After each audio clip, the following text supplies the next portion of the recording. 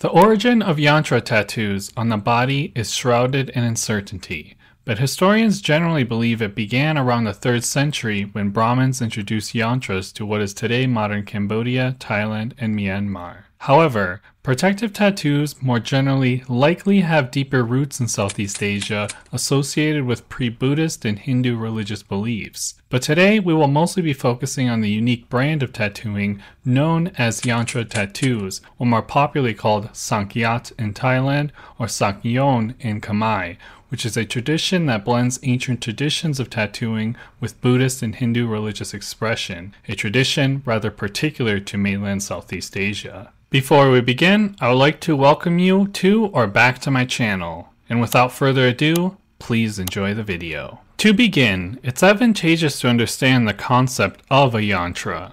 Yantras possess intricate meanings, but fundamentally they serve as instruments for meditation.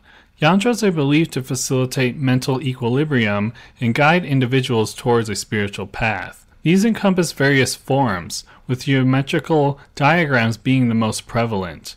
Yantras can be donned, enacted, or meditated upon, and they are attributed with a plethora of benefits as they symbolize cosmic or divine principles employed to concentrate one's thoughts. Yantras are predominantly affiliated with Hindu and Tantric traditions. In contrast, Buddhist meditation practices frequently encompass visualization, mindfulness, and the utilization of mantras, while also emphasizing the use of other symbolic elements like mandalas and sacred texts as aids for meditation and spiritual growth. Typically, yantras are confined to sacred geometrical designs. Nonetheless, yantra tattoos merge Buddhist sacred texts and Hindu sacred geometrical patterns with depictions of animals and deities, likely stemming from pre Hindu and pre Buddhist traditional animistic beliefs that are unique to mainland Southeast Asia. In effect, yantra tattoos combine Buddhist, Hindu, and traditional animistic belief practices. In Cambodia, historical records indicate that Khmer warriors adopted yantras, known as yants, as a form of protection in battle against rival kingdoms like the Cham, applying them directly to their skin, effectively using these tattoos as a type of armor. This practice may have drawn inspiration from Suea Yant, which were linen vests inscribed with yants worn over the chest since ancient times. Pre-Funanese references to sacred tattoos in what is now northern Thailand further suggest the early presence of this tradition among people across mainland Southeast Asia. In the realm of yantras, it's unusual to find figural forms, but Sak Yant tattoos are an exception to this rule. Mainland Southeast Asia possesses two distinct tattooing traditions. One developed in Cambodia and Thailand and utilizing the Khmer and Khom script, and another developed in Burma and practiced by the Shan and Northern Thai using the Burmese script. However, the latter should not be confused with another tattoo tradition unique to Myanmar. The Shan tattoos, known as pants, are tattoos that start at the waist and extend down to the knees.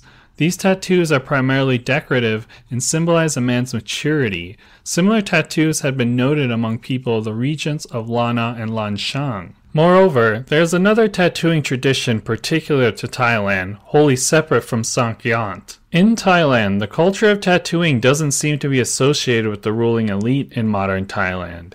Instead, it is more commonly associated with the underprivileged, rural population, and those considered disorderly. In Bangkok from the 18th to 19th century, for example, authorities traditionally marked the wrists of many individuals, a practice managed by the Department of Registration. This served to keep records, compile statistics, and determine the social status, military conscription obligations, and taxations of certain classes of males. The practice of tattooing for administrative purposes seems to date back to early days of Bangkok, with King Taksin formalizing it in 1774.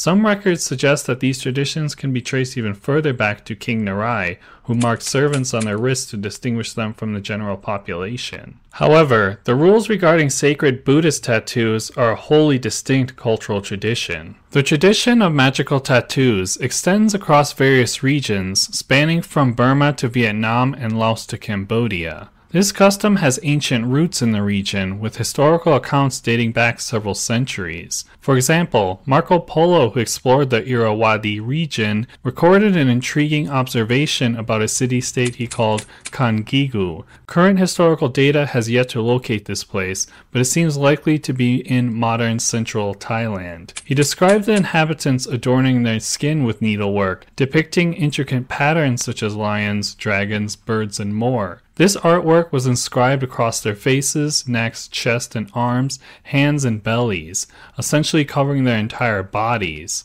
The people regarded these tattoos as a symbol of elegance, and with the most extensive embroidery receiving the highest admiration from their peers. The tradition of creating protective tattoos by monks and revered laymen holds a deep rooted history in Southeast Asia. These sacred geometric designs, known as Sak Yant, are meticulously tattooed onto the skin to offer protection. These tattoos are believed to safeguard against various misfortunes, ranging from negative perceptions by others to providing physical protection against weaponry. Yants or yantra, integral components of these tattoos, consist of Pali Buddhist suttas written in the Khom script referred to as katha. They also incorporate diagrammatic representation of Buddhist teachings.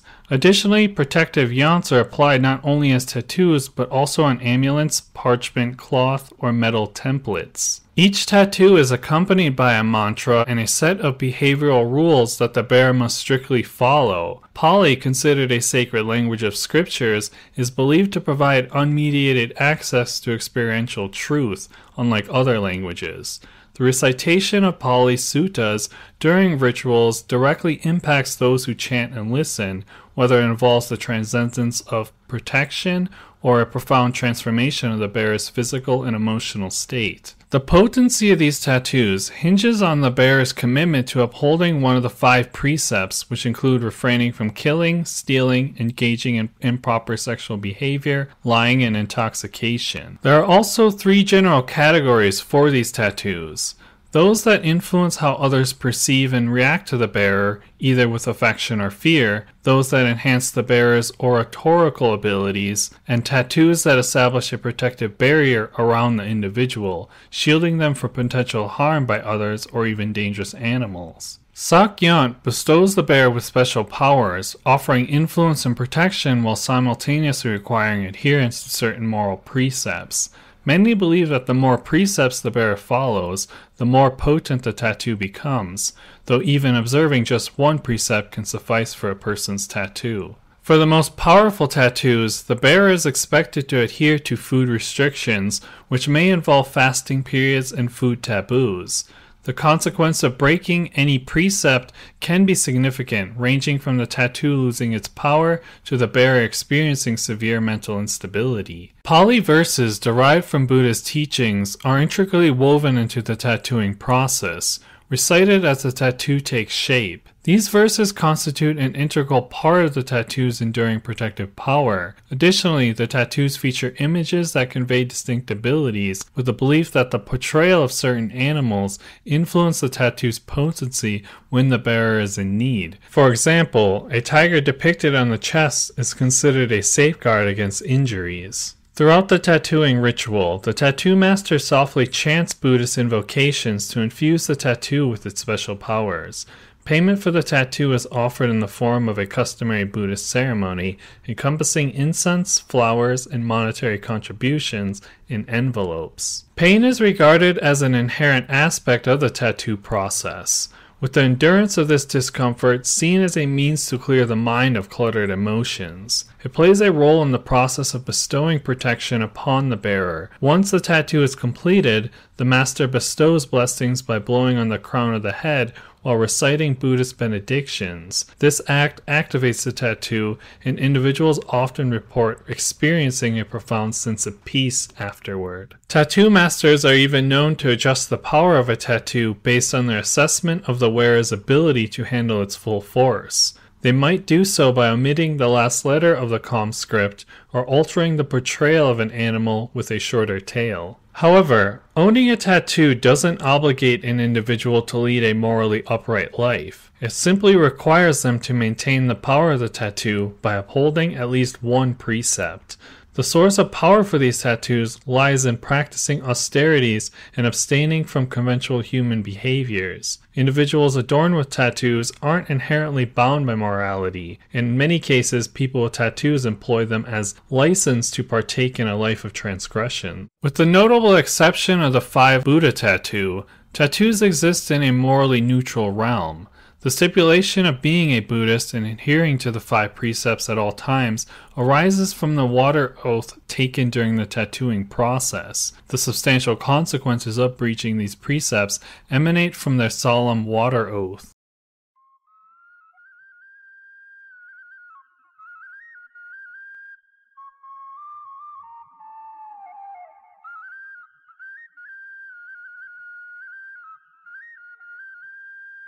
The effectiveness of tattoos remains independent of the individual's intent.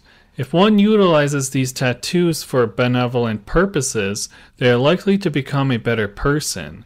Conversely, using them for malevolent intentions can steer an individual towards further immoral actions.